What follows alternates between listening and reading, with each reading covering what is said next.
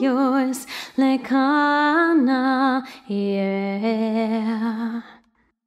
One happy birthday dot com.